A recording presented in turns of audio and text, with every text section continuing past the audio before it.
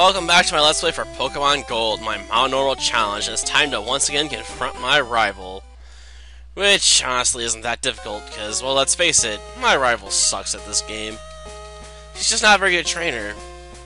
He's just outright terrible. I'm sure it doesn't help I'm running with a team that's not, you know, great, but good enough to get by. I probably should add a few new members to it, though, right? But I'll think about that later. Not exactly sure who I want to put on the team right now. Eh.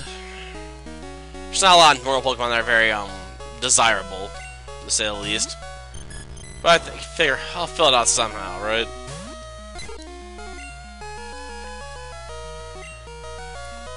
Ah, cutting your own health in order to defeat me. That's one of the dumbest things I ever saw.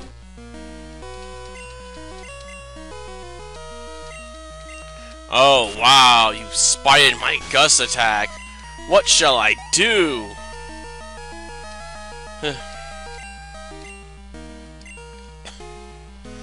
Let's see, I know. We'll switch over to Scout. Think you can beat me with a Magnemite? Don't make me laugh. Time for a Fire Punch, baby.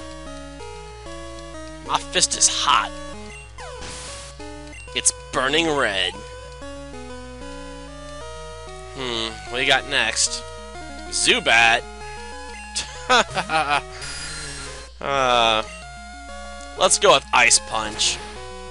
Just because it's basically the polar opposite of what I did in the last fight.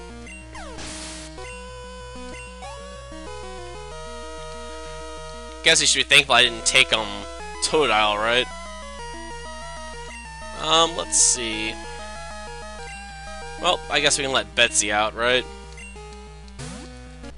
She wants to taste the Quilava. I did give Betsy Surf, so I suppose that is an option. But let's fight dirty and go Mud Slap. Ha! It made my attack miss. Cute. Looks like my cow might lose.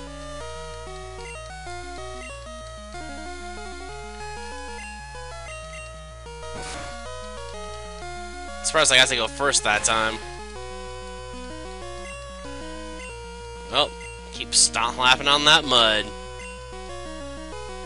Soon I can connect with it.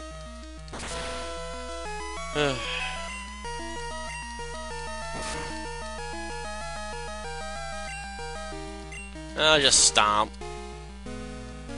Time for some dragon stomps. And we managed to win, though that was a lot more trial than I wanted to be. Hmm. Betsy's needs some work. She could use some more levels, I guess. I can't even use her against Morty. I guess I technically use Mud Slap, but it's not very powerful, let's face it. It's mostly just meant to be annoying, sort of like Sand Attack.